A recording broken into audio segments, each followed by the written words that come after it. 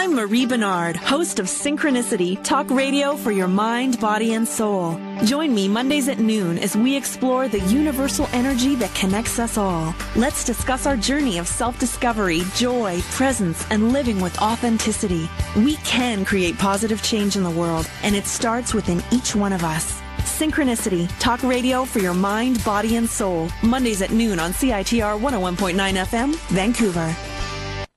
Hello and welcome to Synchronicity Talk Radio for your mind, body, and soul. I'm your host, Marie Benard, and this is Synchronicity here at CITR on unceded Musqueam territory on the University of British Columbia campus. You may also be listening online at CITR.ca, CosmicDimensions.com, and PowerRadio.com, or on the Co-Creator Network, or maybe you're watching this from my YouTube channel, youtube.com forward slash spiritual show. Wherever you're listening from, uh, thank you for joining us today. We have a special, I always say it's a special guest, but I actually sought Eric Maisel out. Uh, he is another author with, um, Oh, people are looking at us now. I guess they can hear what's going on here at CITR. Uh, he is an author with Psychology Today. He wrote an article and I sought out uh, the publisher and he is here today. He is the author of Life Purpose Boot Camp, the eight week breakthrough plan for creating a meaningful life.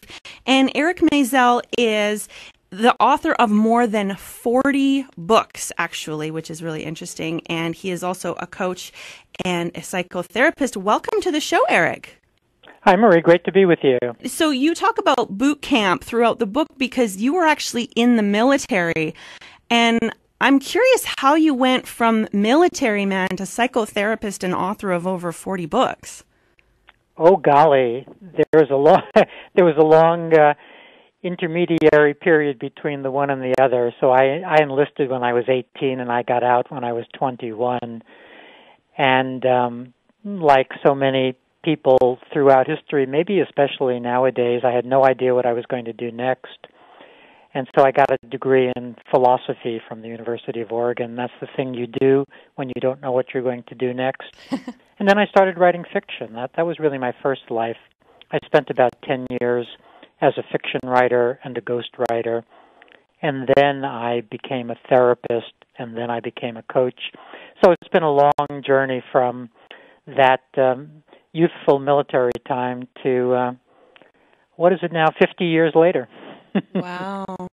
Wow. So I'm I'm guessing now that if you're the author of Life Purpose Boot Camp that what you're doing now is one of your purposes in life?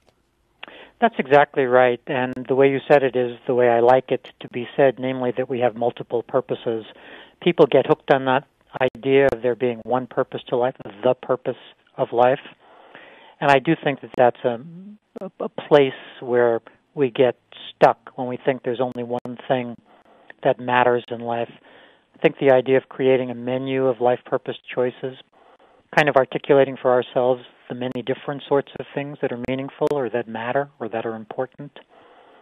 And then figuring out how to get some of those things from our menu onto our daily to-do list. That's one of the huge challenges in life is moving from knowing what's important to getting those important things onto our to-do list. So yes, that's exactly right. This is one of my life purpose choices. I'm curious what some of your other life purpose. I, I like that you use the word choices. What, what are some of your other choices? One is the relationship one. I'm in a long term marriage of, I better get this right, something like 37 years, thereabouts. And we have children. So I have multiple relationships children, grandchildren, wife, friends. I think relating is important. I work with creative performing artists a lot as a creativity coach. Many of them don't actually value relationships as much as creating, and they end up feeling very cold in life because, yes, they've got a large inventory of paintings, but they have no friends. So, one of my life purpose choices is to relate. Another is activism. I believe in many different sorts of things. Right now, I'm in the mental health advocacy world where we're looking at alternatives to the current method of diagnosing. My most current book that comes out in December is The Future of Mental Health and the subtitle is Deconstructing the Mental Disorder Paradigm. That is really trying to look at whether there are such things as mental disorders or whether that's just a label for living. And so activism is another one of my important life purpose choices, etc. Hmm. It's interesting. We'll have to have you back on the show when the future of mental health comes out. And, and in the introduction to your book, there's uh, a really amazing example of someone who went through your eight week boot camp online and he was actually suicidal at one point and I guess it's because he didn't really have a grasp on what meaning was to him. Mm-hmm. Yeah, that's right.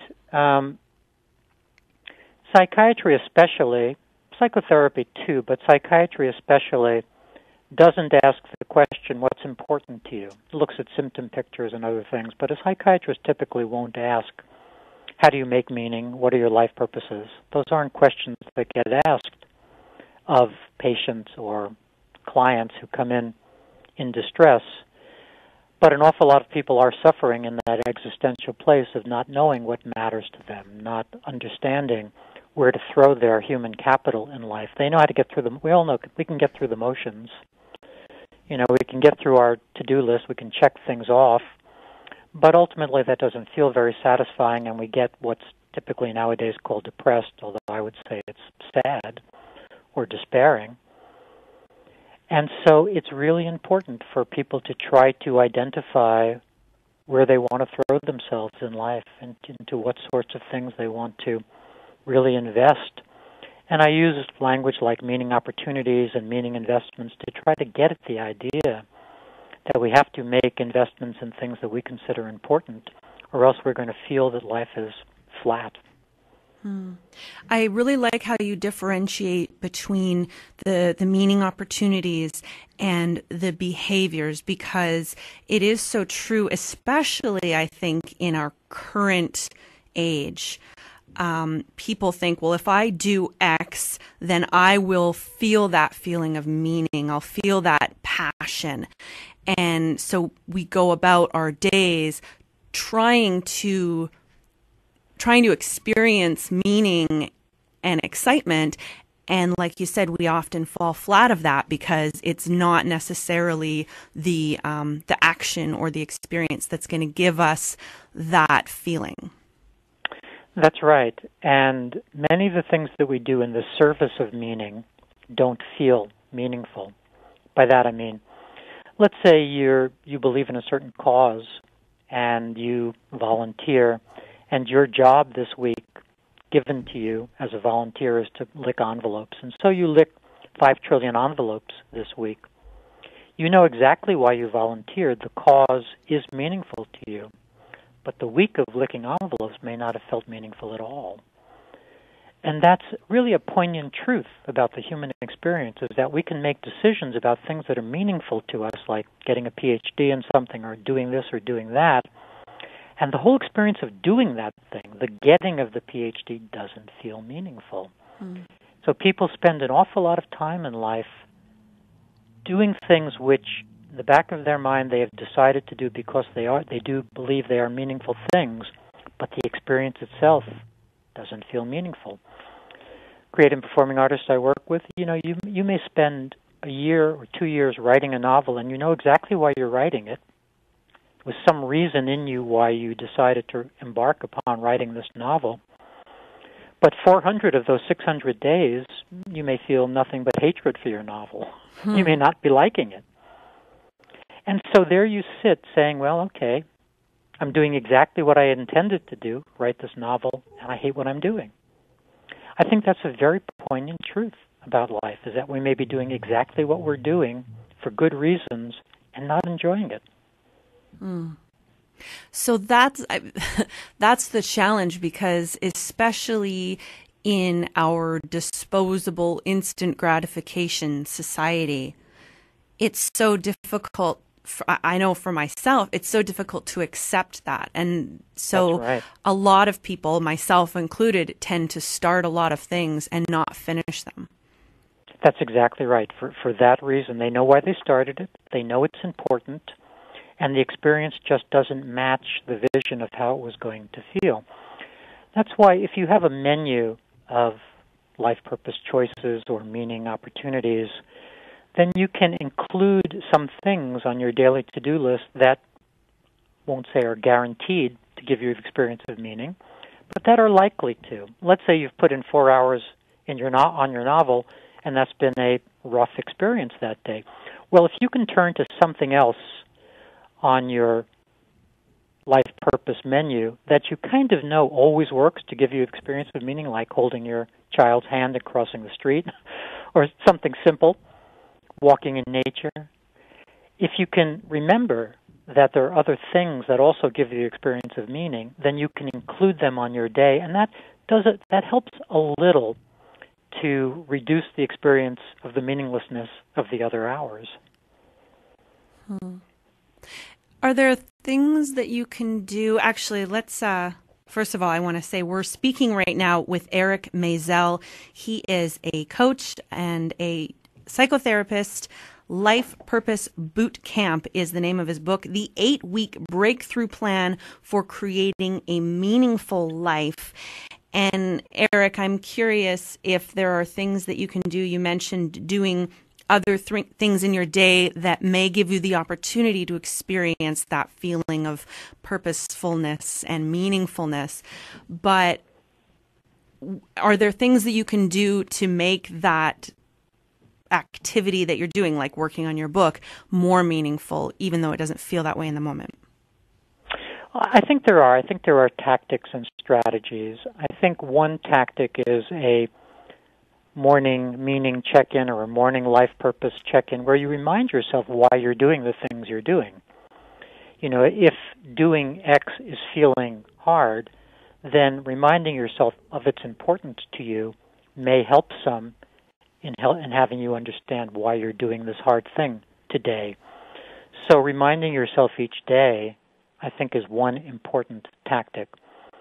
Another important tactic, and I find this very interesting, that's the idea of a life purpose icon. As you know, people who believe in Christianity or Judaism, they get so much meaning out of their Christian cross or Star of David. The physical object that they can wear around their neck matters, and it's kind of a touchstone and holds a ton of information about their belief system in that little physical icon.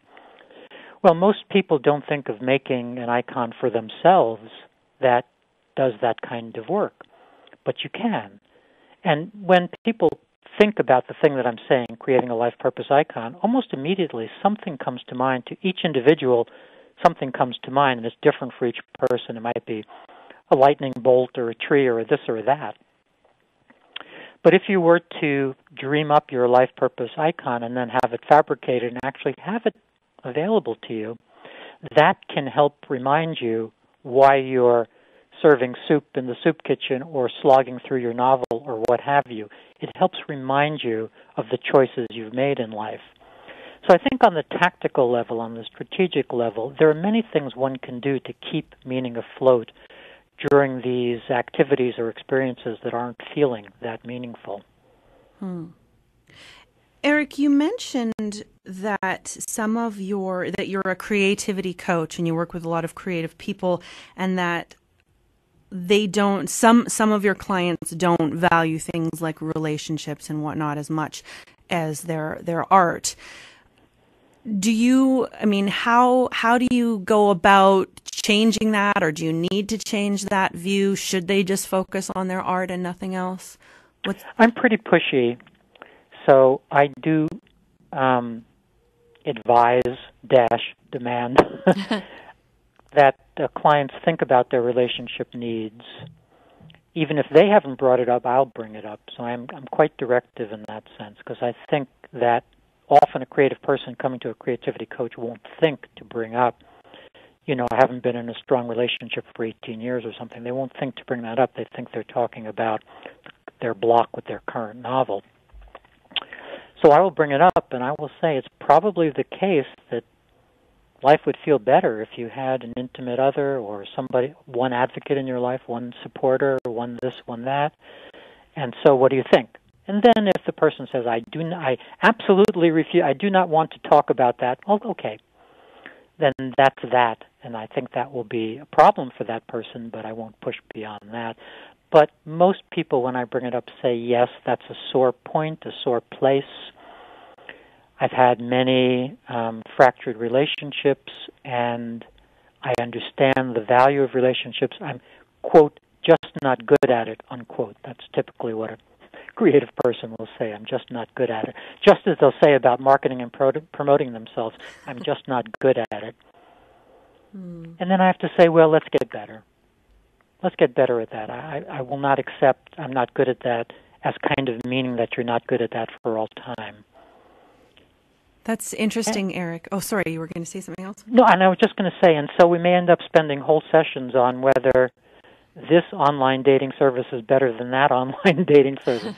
you know, we may go, get to the nitty gritty of relationships um, pretty rapidly. The client may think that we're talking about writing his novel, and we are, but then suddenly somehow three weeks later we're talking about is uh, OK Cupid better than some other site.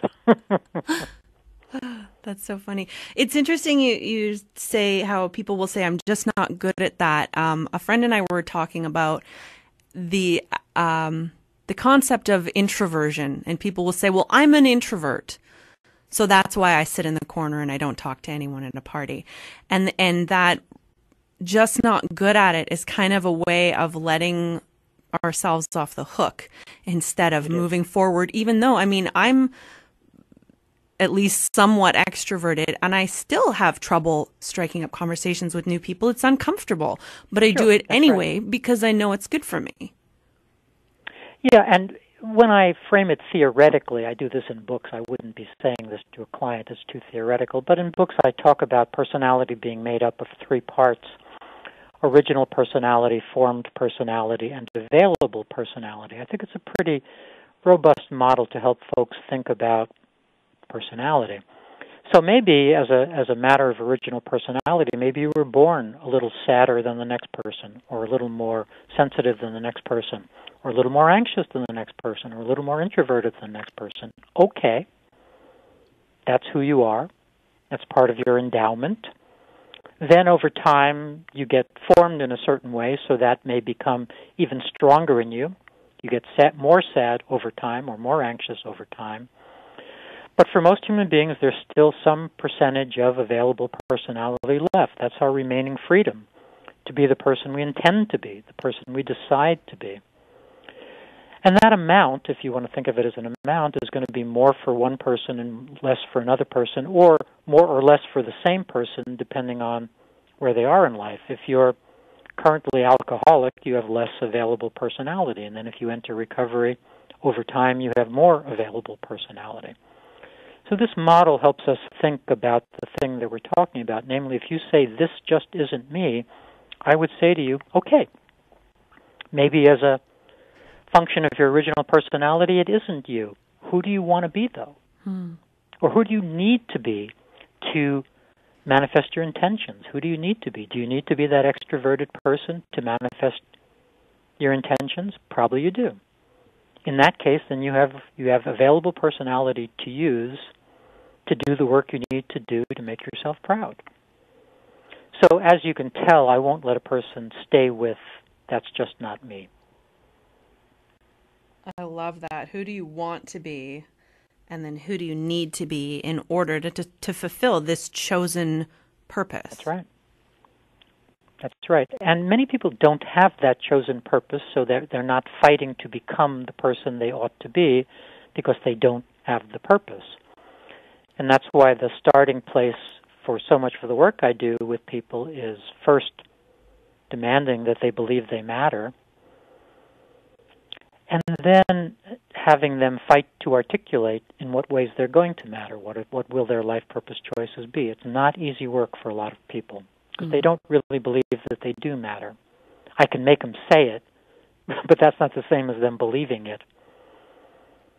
Wow. And that is the work for an awful lot of people to actually believe that they do matter, that this time on earth counts, that certain things are more important than other things, etc. Mm. Wow. Well, we will be back with more synchronicity in just a moment. Right now, we are speaking with Eric Maisel. He is the author of Life Purpose Boot Camp, the eight week breakthrough plan for creating a meaningful life, which isn't that what so many of us want? We'll be back with more synchronicity momentarily. Welcome back to Synchronicity Talk Radio for your mind, body, and soul. I'm your host, Marie Benard, and we are speaking with Eric Maisel. He is the author of over 40 books. Uh, Life Purpose Boot Camp, the eight week breakthrough plan for creating a meaningful life, is the one we're talking about today. Welcome back to the show, Eric. Great to be back. Thank you. So, we were talking just before the break, we were talking about h- helping people believe that they matter. I mean, my goodness, I guess I mean, we are kind of, when you look from a universal perspective and on the planet from, you know, the moon, we're just little specks of dust. Um, I, I guess. That's right. I, I think I think all first world contemporary people, even if they're believers, still harbor that wonder if they're just excited matter and if they do matter and if the universe does care about anything. I think even believers harbor those doubts because we just have a scientific tradition and a materialistic tradition, materialistic in the sense not of money, but in the sense of material world and ideas about evolution and what have you. So I think everybody harbors the wonder about whether they do matter. And so I just have to reconvince people that they matter to themselves at least. At least they matter to themselves they know what makes themselves proud, or at least they can, if if they're not in denial about things, they can understand what makes them proud. They know that gaining 163 pounds doesn't make them proud. They know that believing in some issue, advocating for some cause, makes them proud. And if they don't do it, that doesn't make them proud if they've gotten their masters in writing and they've always loved books and they've never started on their novel, that doesn't make them proud. So they know what does and doesn't make them proud and, and how they would matter to themselves if only they were devoted to themselves. Pavarotti has a quote I like, which is People say I'm disciplined, but it's not discipline, it's devotion, and there's a big difference. So I try to remind people it's not we don't have to white knuckle life and look for more discipline, do things via discipline. What we need is more devotion, devotion to ourselves. Devotion is a synonym for, you know, love and passion and enthusiasm and interest and other words like that. And we want to be passionate about life and interested in life and in a certain sense attached to life, which is its own big issue because we also have to figure out how to be detached simultaneously. There's an interesting dance that we all have to do as human beings between attachment and detachment. But basically, we want to be attached. We want to care about things. We don't want to be so neutral, so detached that nothing matters to us. I don't think that's what we really want for ourselves from life. Hmm. Eric, it, it sounds like whether we can answer the question of how much does one person matter in the greater scheme of things, you were saying, well, I mean, you're here to live this life. That's right. You may as well make the most of it. You may as well do the most that you can with it, whether in a 100,000 years it's going to matter or not. Who cares? You're here now. That's right. Plus, it actually um, helps you emotionally to be doing the things that matter to you. There, mm-hmm. there are lots of interesting new studies about people with life purpose having healthier lives than people without life purpose. In a way, that's just intuitively sensible, but there are there are new scientific studies that show that.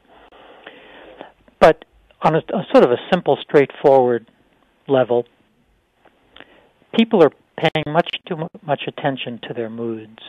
And when do we check in on our moods when we're not happy, when we're in a bad mood, when we're down? Most people don't check in on their mood when they're happy and say, wow, I'm in such a good mood.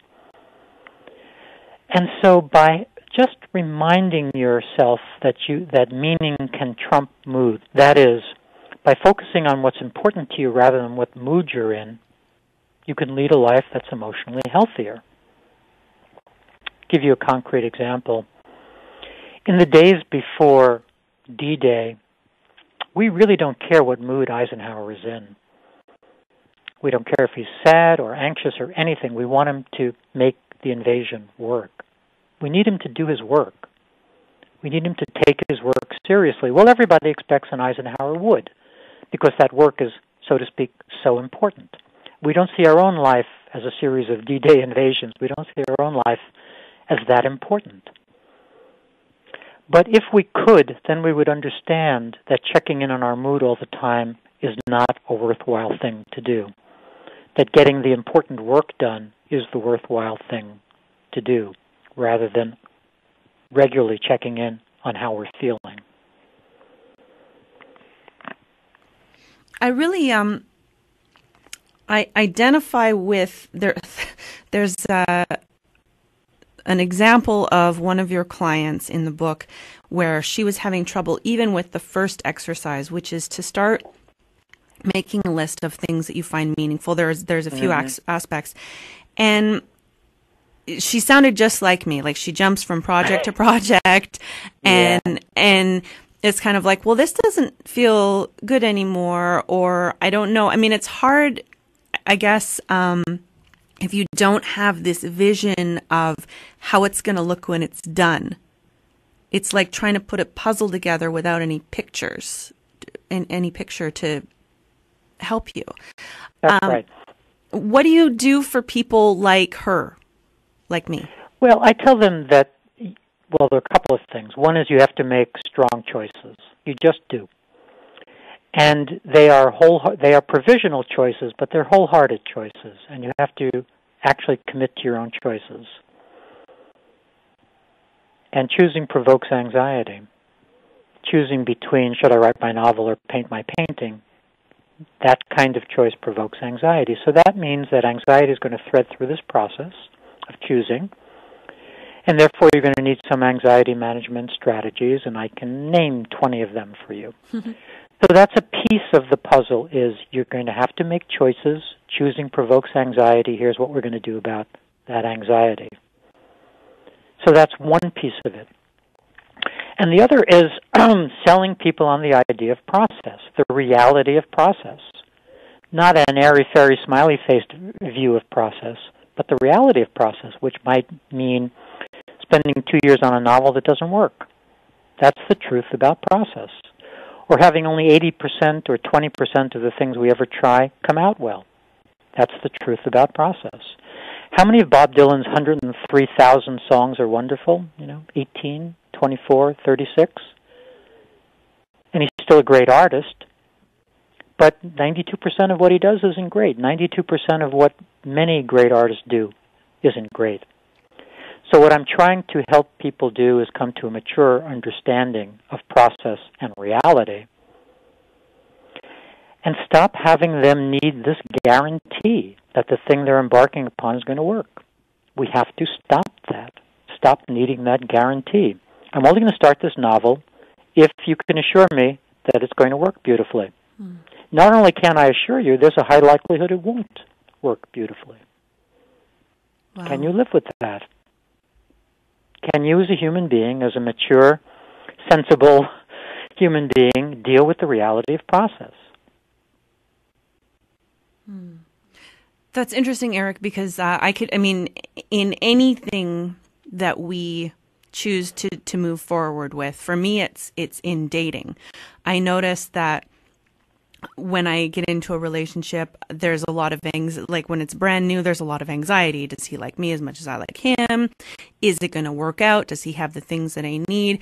And a lot of the times, I think the anxiety comes from that feeling that I have to make the right choice in this moment rather than just right.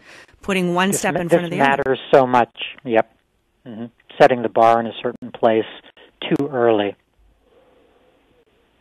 and and the fact is that whether you're writing a novel that ends up garbage or you're in a relationship that mm-hmm. ends up a tragedy you as if you're present throughout the journey you're actually better equipped for the next novel or the next relationship That's exactly right. And there's an and, and if you can get out sooner rather than later, that's a good thing, whether it's the novel or the relationship. Um, I did a life purpose boot camp um, interview conference where I interviewed folks from different walks of life about their life purpose choices and what have you. And I learned a really interesting thing accidentally through that process. And that's how long it took people to make a change, even after the meaning had completely drained out of the thing they were currently doing. I'll give you one example. There was a woman um, who was a nun, and she was um, high up in um, the Vatican and was um, Mother Teresa's sort of right hand nun, and was well positioned, but at some point she stopped believing in Mother Teresa and God and what have you. Everything. Her order. She stopped believing. But it still took her five years to leave the church, five or six years. And that's we understand why. You just can't overthrow your belief system by snapping your fingers. Plus, there's no guarantee that the next thing you choose to believe in is going to satisfy you. So, whether it's a belief system, there was a professor I interviewed who, for five or six years, had known that he hated teaching the classes he was teaching. He no longer cared about music composition. He knew it inside out, but he, he just couldn't stomach teaching it. And he left, and he he had to create a sort of self-created career to match what was meaningful to him. This is all by way of saying maybe it's going to take the full five or six years to get out of a situation, even though you know you're going to get out. You know, you, we know we're positive we're going we're going to have to get out of this ultimately, but it's just too hard to get out of it now. Well, if there's any way to shorten that time from five or six years to a year, metaphorically, then that would be important to know how to do for an individual. And I think that can save a lot of grief and angst to make strong choices, but then also to be very aware of when that choice isn't panning out and when we have to make a new choice, and then try to make that change as expeditiously as we can. Hmm. Eric, I'm curious. Um, I, I totally agree that you don't want to spend way longer than is helpful or useful or purposeful in a situation. But at the same time, as an example, um, with my relationship, I'm starting to see that in all likelihood, this is not going to be my last relationship, unfortunately. However, mm-hmm. I'm enjoying the relationship now and I am continually learning new things that I, that would serve me to work on. And so therefore, at the moment, I'm staying in hopes that things will turn out the way that I'd like them to, but also because I don't I don't feel like it's helpful for me to just leave this relationship looking for a new one still dealing with this issue I know I'm aware of.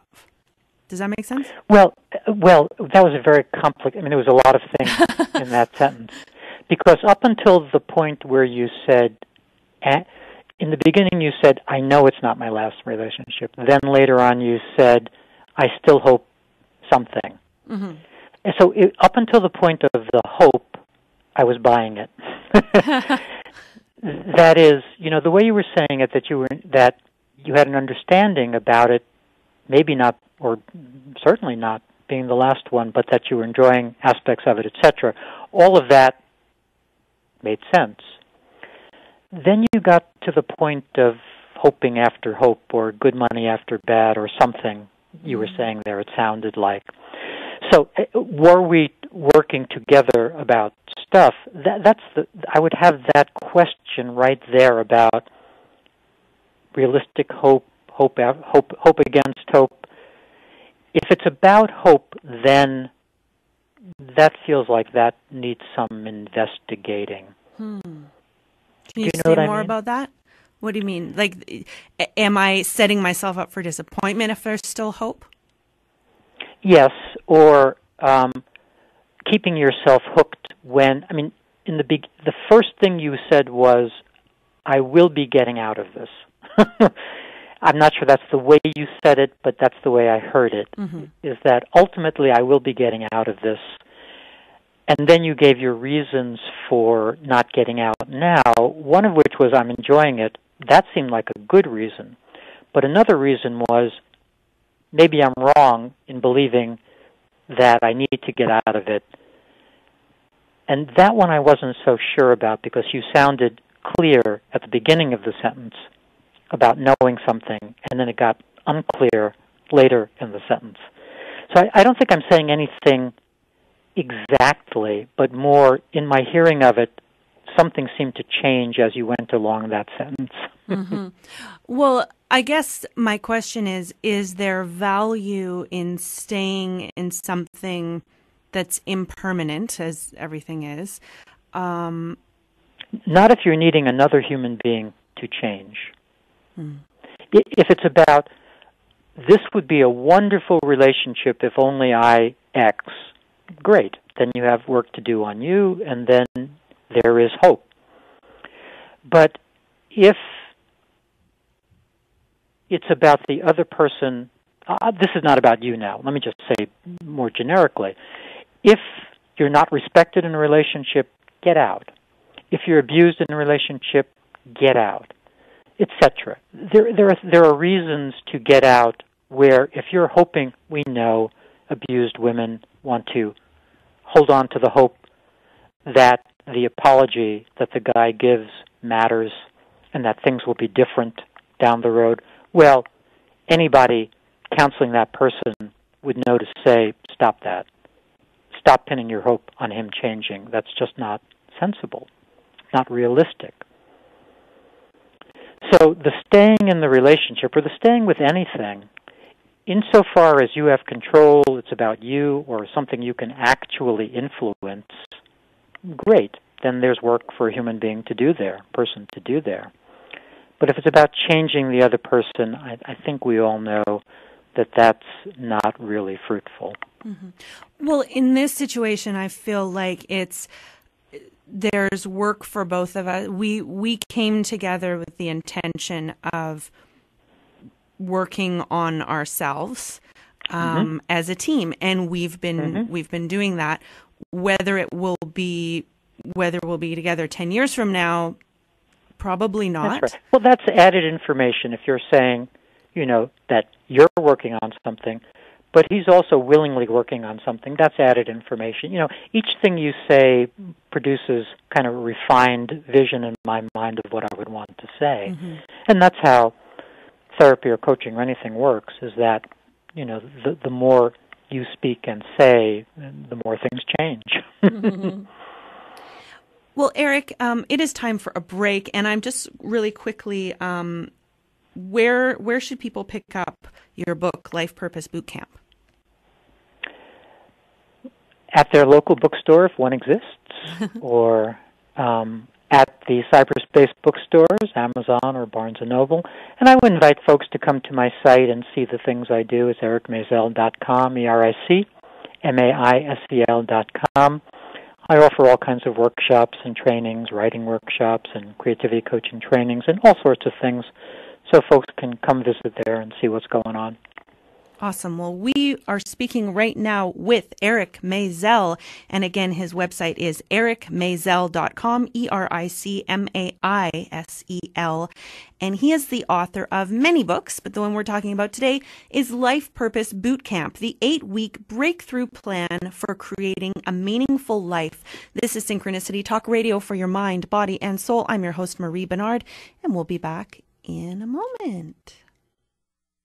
Welcome back to Synchronicity Talk Radio for your mind, body, and soul. I'm your host, Marie Benard, and we are speaking right now with Eric Maisel, the author of Life Purpose Boot Camp, the eight week breakthrough plan for creating a meaningful life. And Eric, you talk a lot about meaning, um, I think more so than purpose in the book. And how are, how exactly in your definition are meaning and purpose related? Meaning meaning is an experience and purpose is a choice. For thousands of years, we've had the metaphor of seeking meaning, being a seeker of meaning. That the idea being that meaning somehow was out there.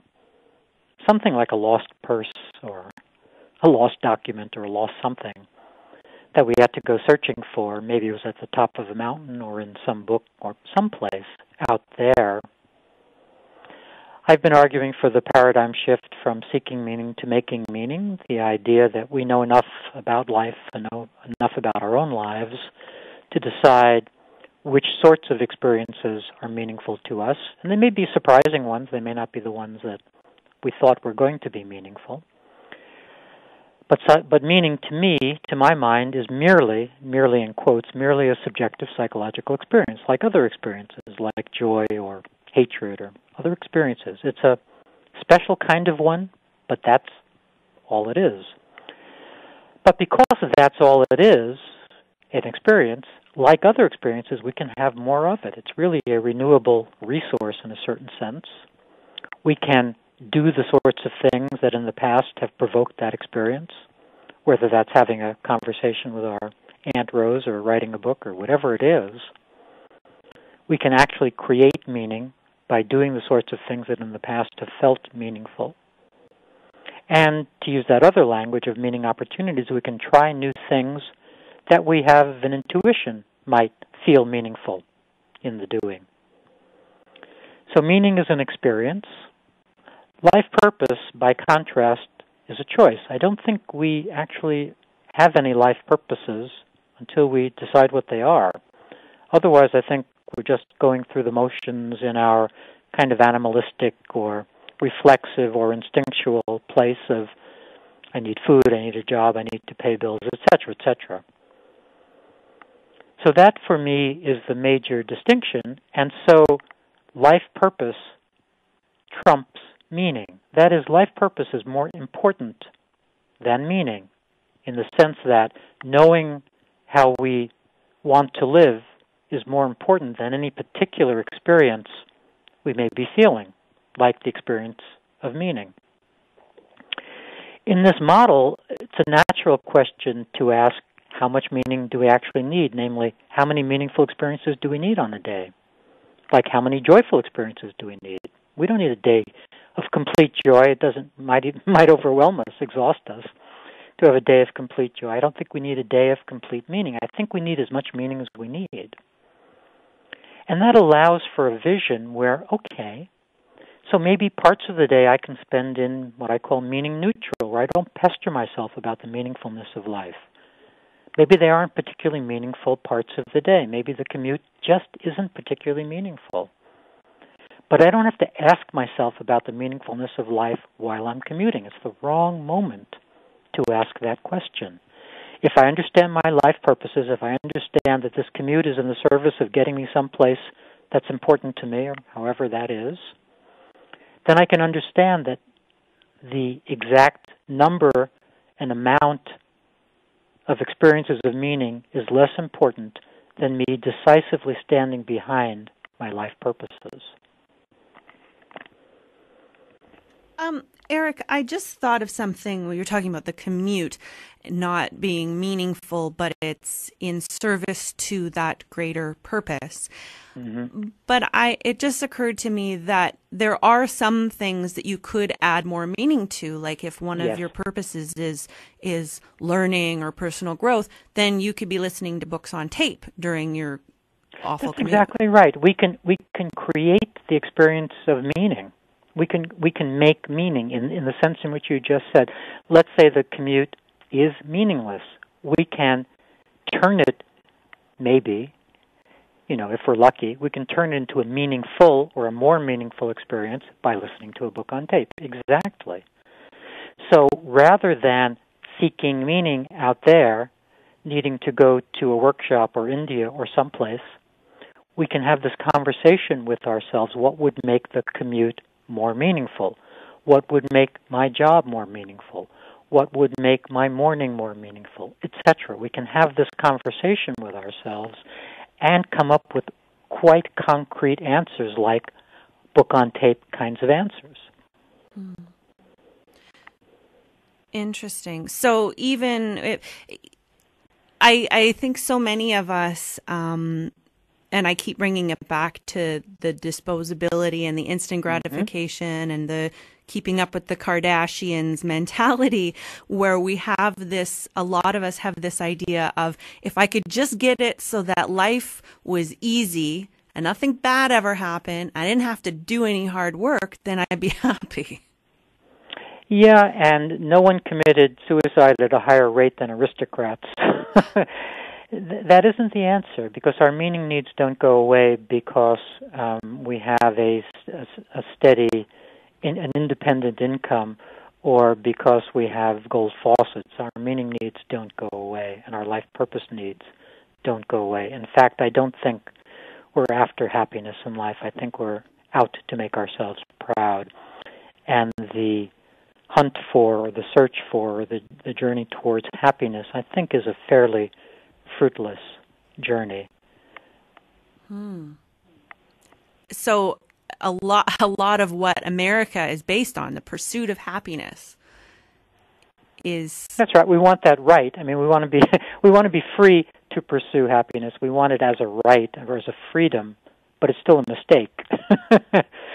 mistake in the sense that we're not living our val- we're not living our values if we're chasing happiness. Let's we could name any kind of value, any kind of activist value. Let's say it's um, speaking up in the service of some unpopular cause. If you speak up in the service of some unpopular cause and people throw rocks through your window, etc., you're not going to feel very happy. Happiness is not the word that arises in a conversation around people throwing rocks through your window. but it may be exactly the thing you know you need to do. So I don't think thinking about happiness or chasing happiness is what we're after. I think standing up for our standing up for what's important for, to us is what we're after. And we disappoint ourselves by virtue of the fact that we don't stand up for what's important to us enough. I think a lot of people are both disappointed in themselves and pre disappointed in trying out the things that they think they would like to do because they doubt that they're going to have the resolve to follow through. It's the diet syndrome. You know, you may be disappointed in your weight and pre disappointed about being able to pull off your next diet effort. So you know you're not going to really do it. Hmm. So I think a lot of people are in that disappointed and pre disappointed, sad place.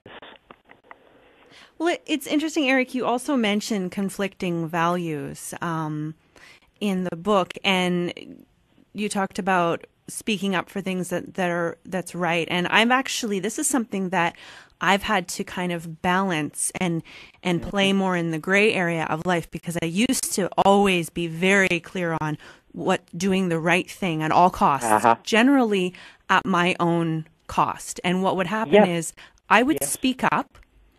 Yep. i and and nothing would change because of it other than my life would get worse. That's right. Whistleblowers don't fare well.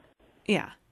So I've stopped doing that now, but then I have to kind of look at it from a different viewpoint because even though I do feel that it might be in the past it might have been right to speak up if that's not going to result in any positive change then it's not helpful to anyone that's right and you may change your mind yet again. And you, may go to the place of, I can't know that it wouldn't serve somehow, that it wouldn't change. I can't know if being an activist in some cause wouldn't be a good thing. So these things shift. We can go back and forth around the sorts of things you just said. I think that's again one of the poignant features of life. Life is that our values do shift.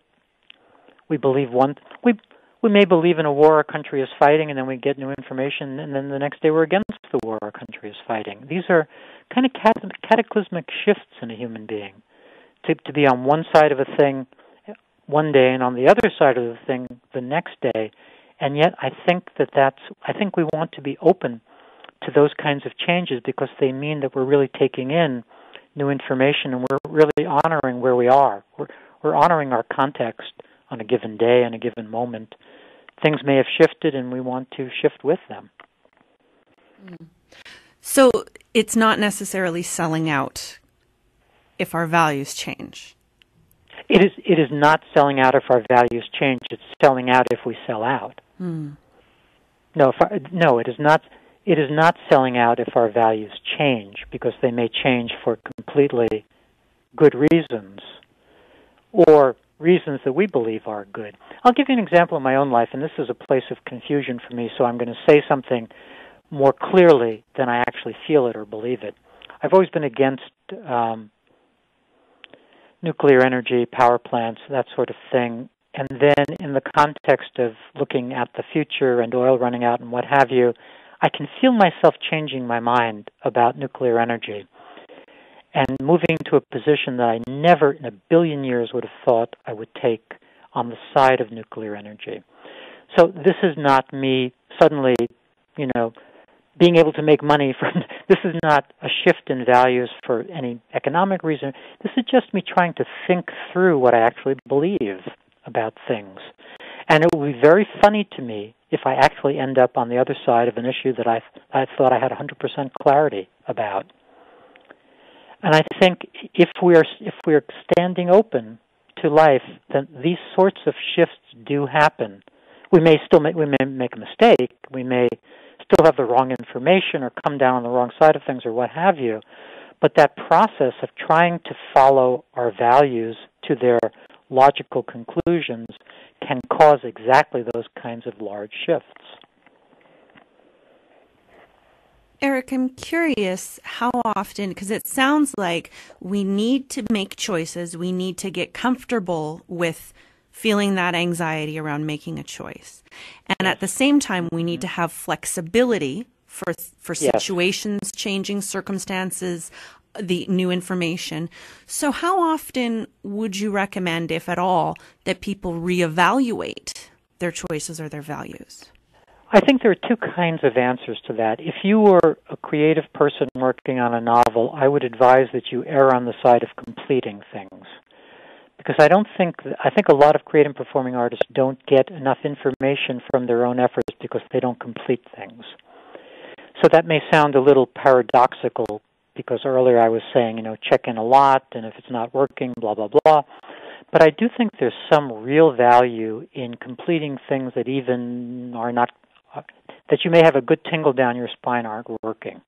You may know that this novel you're working on really just doesn't feel very alive there still may be real value in completing it for the sake of really understanding the process of what it means to do a draft and a second draft and a third draft and send it out and get rejected, etc., etc. There may be value in that whole cycle. So that's why I say there are two kinds of answers. One is stick with things. and this is a this was the stick with things um, rap. And then there is the other, which is try to get out of things that aren't working sooner rather than later. And maybe one wants to check in very formally, like once a month, about A, B, and C to see if A, B, and C are still holding. And that may be too mechanical, but I think you know what I mean metaphorically, of really checking in quite frequently as to whether a certain activity or enterprise or even way of being is working. So I think both things are true, and it's not really a paradox. I think both things are true. We do want to stick with things for the sake of giving them our best shot and seeing things to completion, and at the same time, we want to drop things that aren't working sooner rather than later. Sounds like a balancing act. So, Eric, uh, we're just about out of time. DJ Chris Horrific is in the studio for his show, Parts Unknown. And I'm just wondering what what do you think is the most important thing that you want potential readers of Life Purpose Boot Camp to, to know before they pick up your book? That there are two sides to, or two things to remember about life purpose. One is that it's a choice. These are choices we make. And having made them, we have to manage to get them onto our daily to do list. So those are the two most important things. Make strong life purpose choices. They may change, but make them strongly and then actually live them. Thank you so much. It has been such a pleasure speaking with you. Again, your website is ericmaisel.com. That's E R I C M A I S E L dot com. The name of the book is Life Purpose Boot Camp, the eight week breakthrough plan for creating a meaningful life. And now, if people are kind of like me and they maybe need a little bit more motivation to complete these tasks, are you still doing the online boot camp? Um, I'm not doing the online boot camp. I'm doing a live one. I believe the next one is at the Kripalu Retreat Center in Lenox, Massachusetts in March. So I'm doing some live ones in the world, but I'm not doing the online one at this moment. All right. Well, again, you can find more information about the book at ericmaisel.com. Well, thank you so much, Eric, for being on the show. It's been such a pleasure speaking with you. It's been great being here. Thank you. Take care. Have a great day. So again, that was Eric Maisel, and he's a psychotherapist as well as a coach. He's authored more than 40 books, and the latest one, uh, Life Purpose Boot Camp, the eight-week breakthrough plan for creating a meaningful life. I'm your host, Marie Benard. It's been such a pleasure speaking with you. DJ Chris Horrific is up in just a moment here on CITR, and he's joined by, it looks like his wife and his daughter. His sister. And Oh, his sister. Oh, I'm sorry. I haven't, haven't I haven't met your wife before, have I? I don't know. Anyway, hi. But you, you're so big. I was expecting. my, my sister? Uh, no, your daughter. How old is she now? Three. Three? It's been that long? Yes. I just every time I picture her, I think of a baby. Yeah. You're such a big girl. baby. No, you're not. Girl. Wow. Well, it's really nice to meet you. So I better get out of here. My name is Sylvie Pearl. Her name is Sylvie Pearl. Sylvie Pearl. Well, it's lovely to meet you, Sylvie Pearl. All right. Well, uh, DJ Chris Horrific coming up in just a moment. I'm going to close the song with a close the show with a song by Surya Devi. Want to send you lots and lots of love. Be well. Namaste. Namaste.